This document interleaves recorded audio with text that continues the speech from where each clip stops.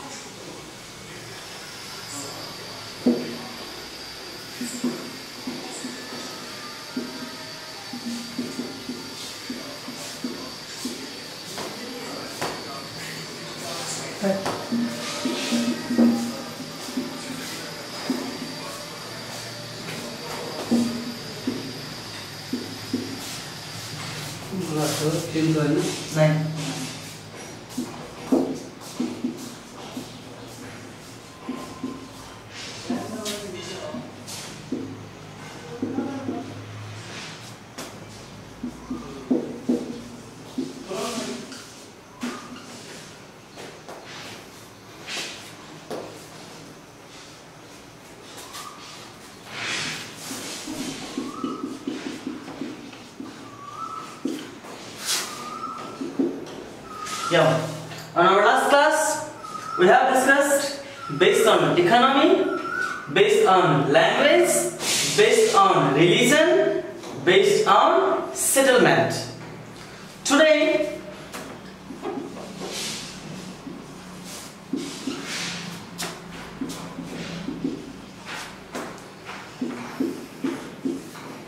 today we are going to discuss types of society based on time. Based on time. So dear students based on time we have two types of society. How many types of society? Two types of society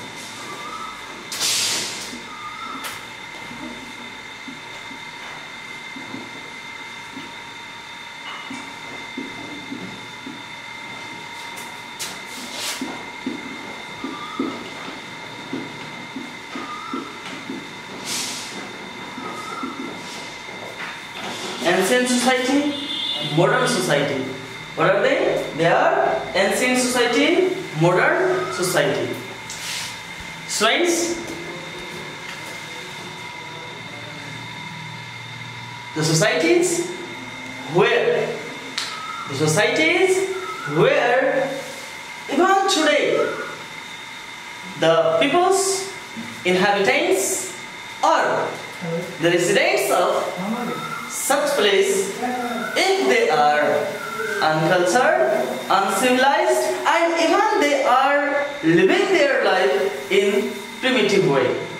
In which way? If their lifestyle is primitive, if their lifestyle is ancient, if their lifestyle is without technology. But I have told, if their lifestyle is without technology, they fall under what type of society? Ancient society. They fall under ancient society. If their lifestyle, if their lifestyle is without technology, then they fall under ancient. And if their lifestyle is successful with the help of technology, if their lifestyle is advanced, if their lifestyle is easy and comfortable, relaxable, yeah, if they are too much if they are feeling too much comfort with the help of technology in their life, it means they are under modern society. They are under society, modern society. So these are the two types of society based on time. Dear students,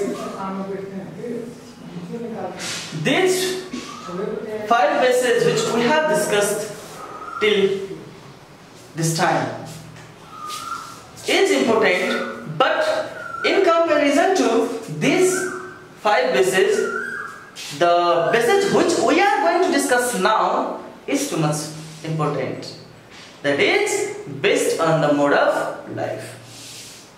That is based on the mode of life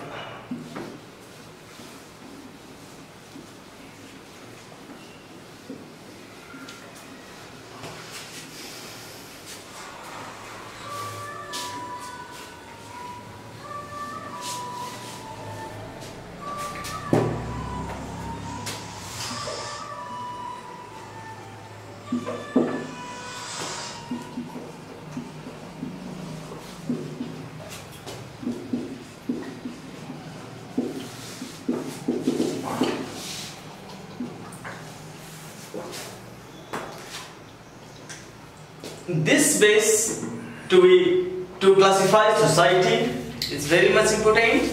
So listen carefully. Yes. Under this first one is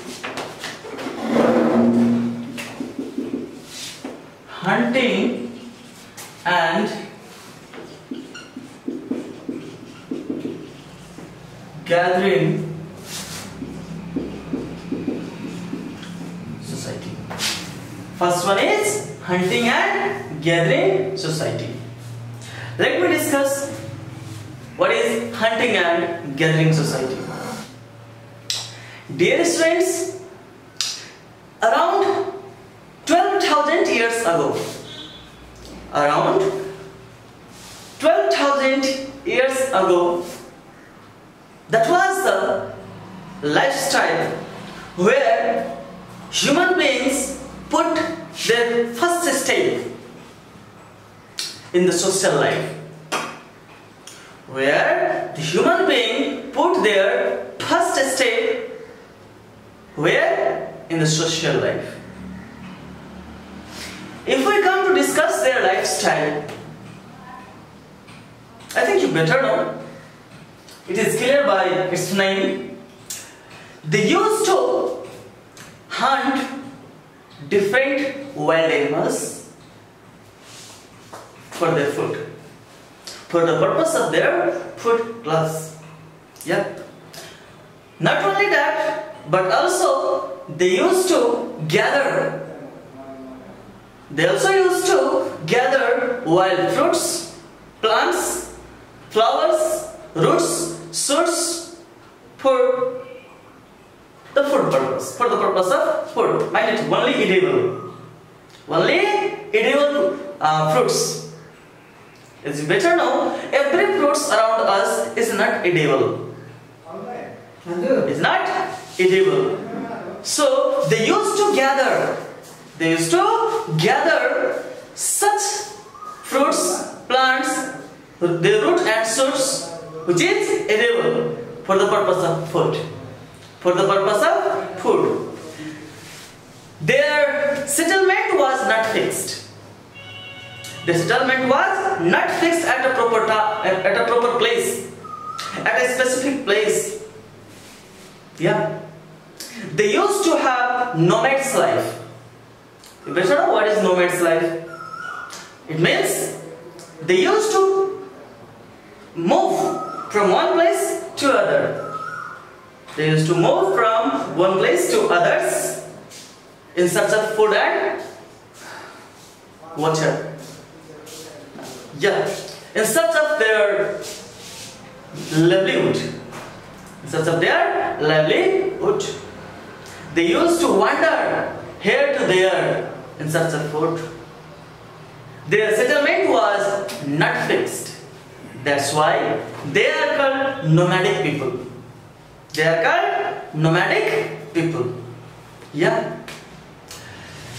They used to hunt animals. They used to gather uh, wild fruits, flowers, roots, shoots for the purpose of food. One more thing else I have talked. They used to live the life of nomads. It means they used to travel from one place to another. Next thing about hunting and gathering society is that male you know what is male and female? Yeah better male male uh, of this society used to go out for collecting food for hunting foods whereas females of this society is to gather that and used to store them for the future use Used to store them for the future use. Who? Who used to hunt and who used to store? Male used to hunt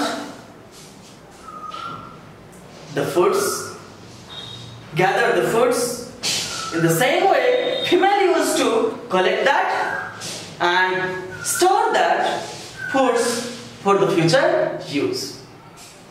So these are the lifestyle of the peoples who are from hunting and gathering society.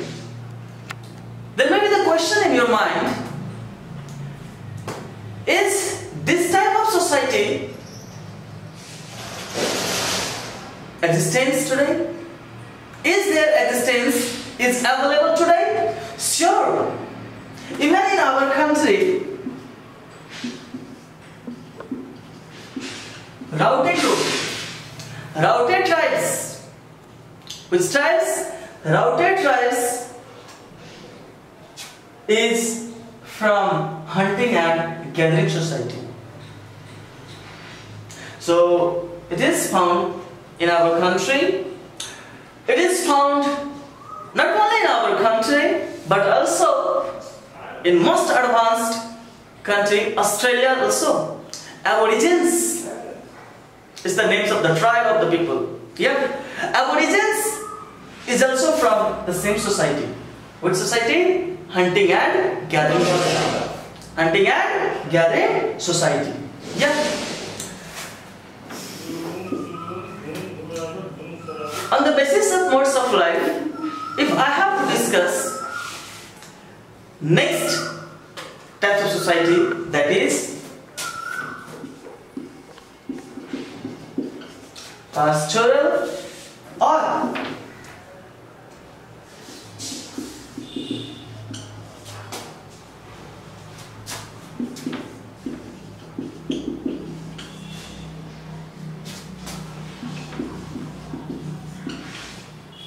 yeah pastoral or animals rearing society of society pastoral or animal rearing society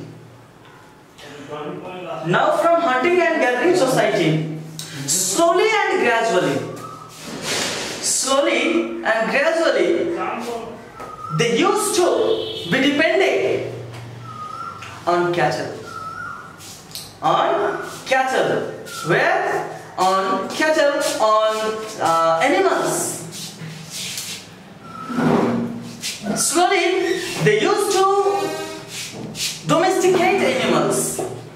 They used to domesticate animals means they used to keep some of the animals where even in their home. As people today are keeping cow, buffalo, goat as their domestic domestic animal. Yeah. In the same way, at that time, in pastoral or animal rearing society, people used to domesticate some of the wild animals for the purpose of food. For the purpose of food. For the purpose of meat and some other products that is milk and other others. Yeah. So in pastoral or animal rearing society, people used to be dependent where? On animals. On animals. How? Slowly and gradually they tried domesticate wild animals and on that wild uh, yeah on that domesticated animals they was fully dependent for the purpose of meat and milk and some other products in this type of society